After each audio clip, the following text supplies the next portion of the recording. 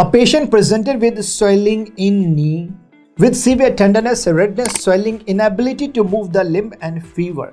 On examination, affected area is warm. Patient does not remember any history of the trauma. Basically, no trauma.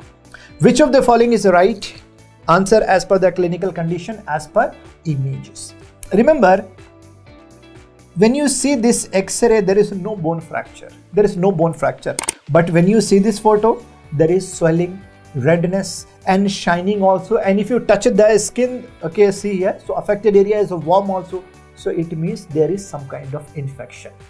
Remember here if there is all see here suppose if there are all the symptoms of bone fracture without any history of trauma. If you can see swelling if you can see warm and shiny so mostly you should be suspecting any kind of infection near the joint it is a case of septic arthritis. Septic arthritis. What is the most common reason for the most common causative agent?